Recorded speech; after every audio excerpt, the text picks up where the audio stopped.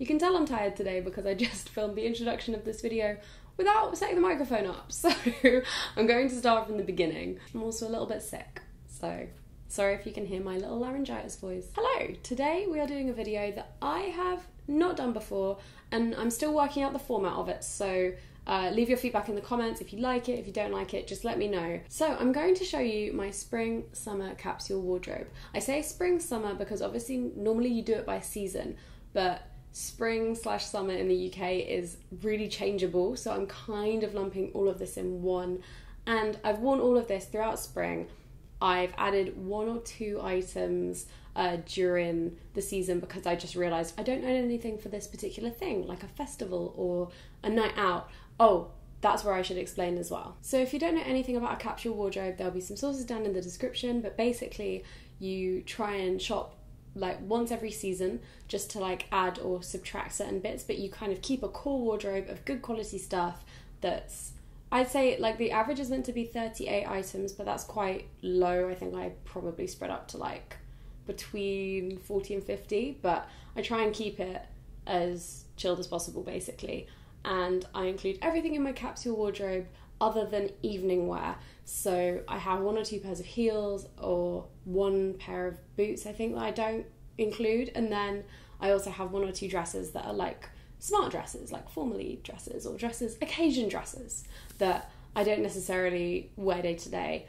And I still reuse, obviously, and put away and bring back out with, with the seasons, but it just doesn't feel like it's part of a capsule collection. So yeah, today I'm going to be showing you my capsule wardrobe, my, my everything in it pretty much. No, not even pretty much.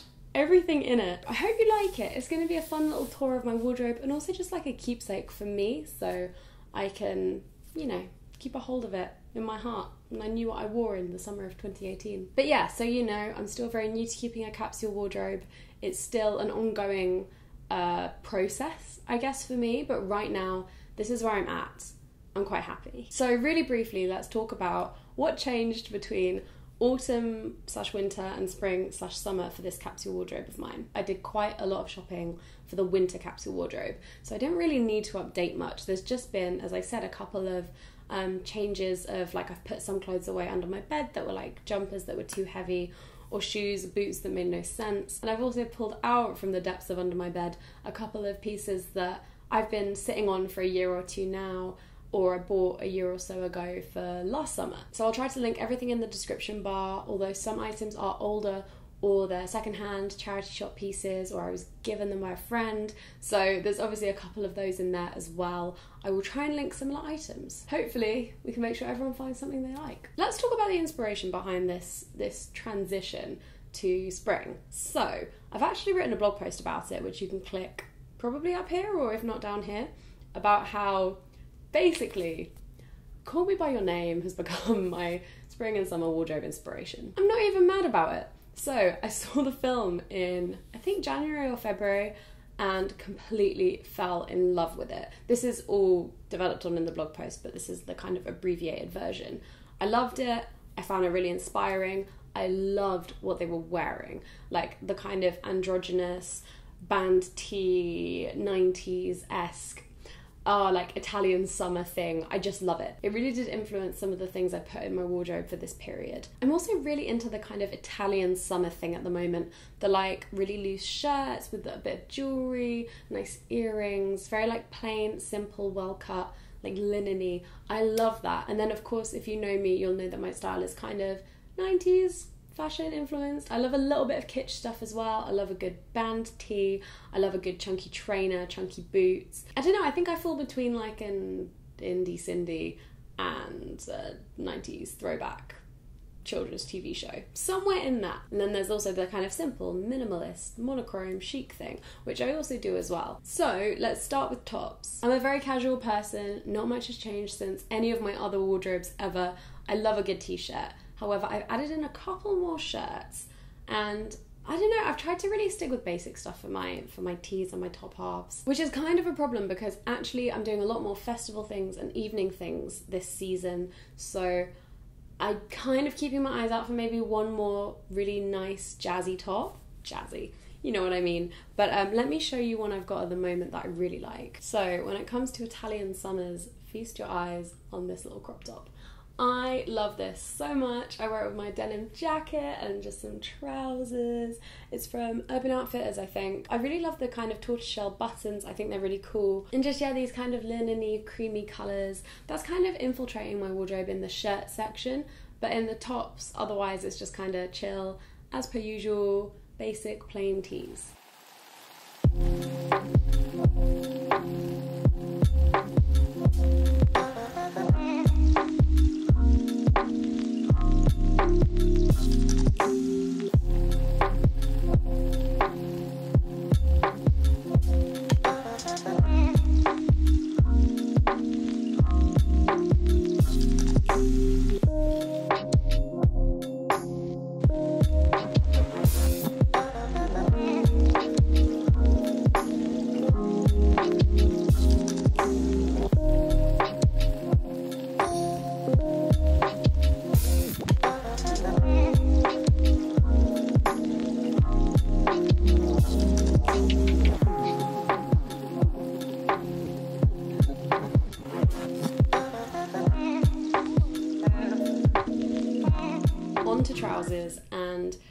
As you probably can guess from a girl that loves t-shirts i do mainly wear jeans.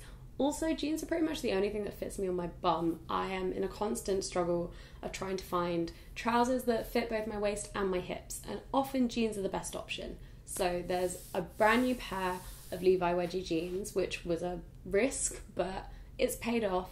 I love a good cut off straight leg denim at the moment. That's the vibe i'm going for yeah. Also, I just want to throw it in there because I love them. Stälf make the most amazing trousers. I've been wearing my, I think they're the linen ones for at least four months now. No, more than four months, six months now. And they're incredible. So let's roll the clips of the trousers.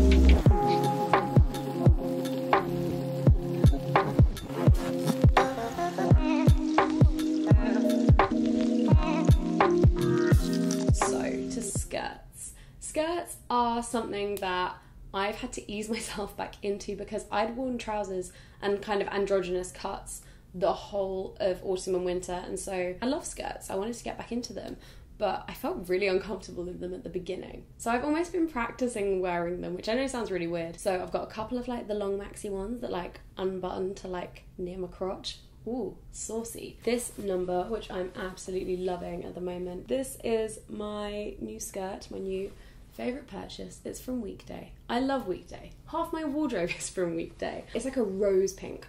I love it. This is one of my favorite colors, and now it's in a denim skirt. It's really easy to dress up, dress down. I wore it to a festival the other day. I wore it to All Points East. I love it.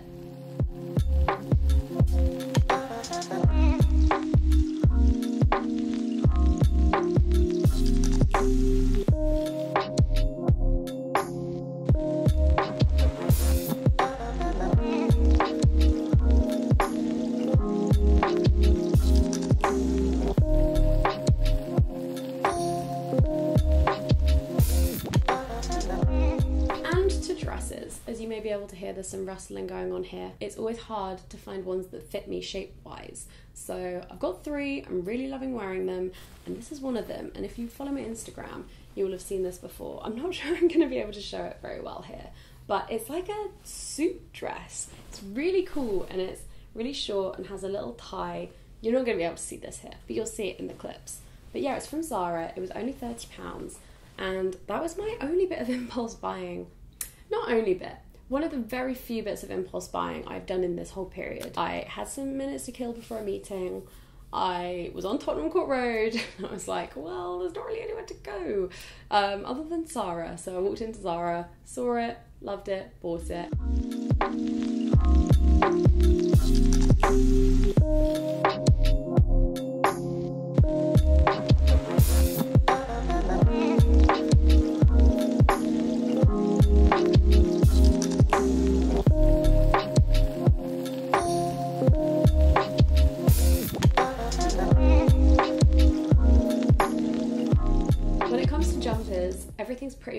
Same. I've just traded out some of my warmer knits for some of my thinner knits, and nothing is new. I just didn't really want to buy any jumpers. I generally wear like a t shirt and a jacket or a shirt and a jacket in this kind of weather. So, yeah, there's not really much to update you on there.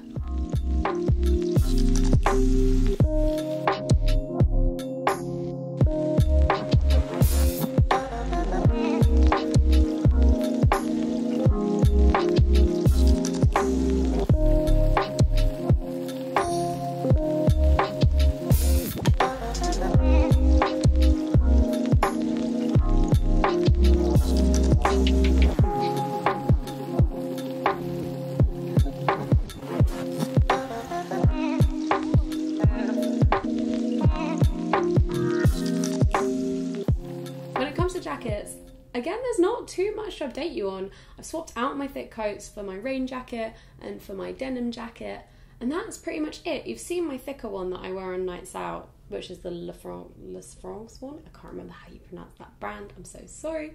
But you've seen everything kind of before on this one. I'm a big fan of my rain jacket, but my boyfriend says it makes me look like a condom. So uh, maybe a poll? Should we do a poll?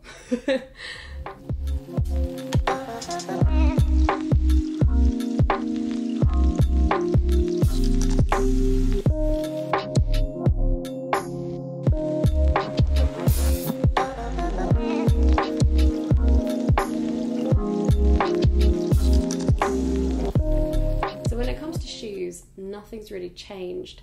I yeah, I've bought some um, Nike MX95s, which I love, but I haven't got them on me because they are so dirty right now after the festival I went to this weekend. But the big and important inclusion is my Birks are back. Oh, my sexy, sexy Birks.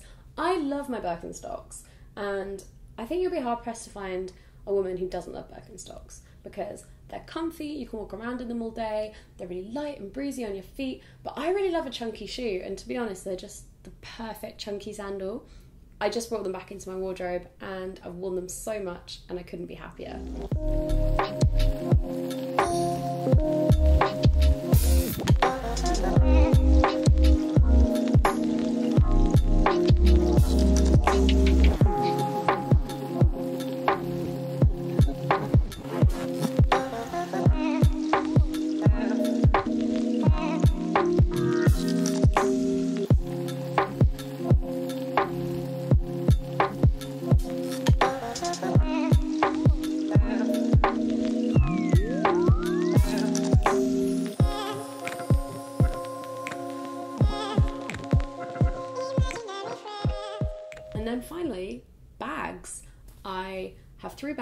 I'm using on rotation. Some people will say, and I know I'll get asked this in the comments, do you not have like a dressy bag that you use on nights out or at times when you need a nice bag?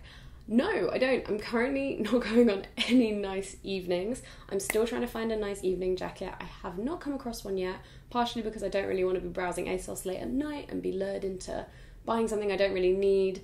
But yeah, so I'm still stuck on a nice evening jacket. But in general, I kind of wear stuff with pockets. So I put my stuff in a pocket or I try and not really bring much out. Or I'm really lucky that I have like the boyfriend pockets that I can be like, hey, Jack, can I put something in your pocket, please? Thank you. So I just have my three casual bags and they literally work in order of size. I have my main Kanken bag, my black one, which I use if I'm doing any laptop work during the day, if I'm going away for a week, for like a day, I would say a weekend not a weekend. And then I have my smaller yellow Kanken, which I am so in love with. That's maybe my favourite thing I've got this whole season. And I was kindly gifted it by Urban Outfitters and I nearly cried when it arrived. I was so excited. I use that just going around London, you know? And then finally, for like casual evenings out and when I really don't want to bring anything, I have my Eastpak bum bag. I, Americans call them fanny packs.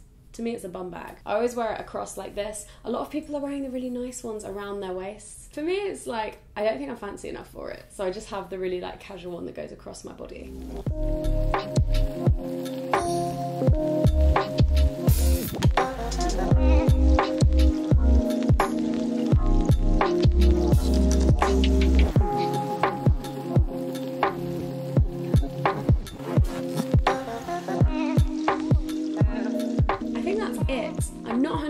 If I've missed out anything, I'm so sorry. It's 6:30 p.m. on what day is it? And for some reason, I thought I could film this whole video in a day. But yeah, I think I've covered everything. Thank you so much for watching. Um, I hope you enjoyed this weird summary of what I'm wearing at the moment.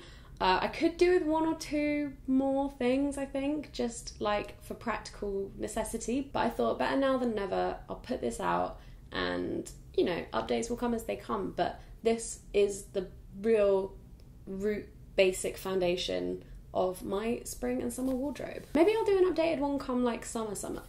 We shall see. Anyway, thank you so much for watching. Everything I mentioned will be linked in the description bar, and I will see you in my next video.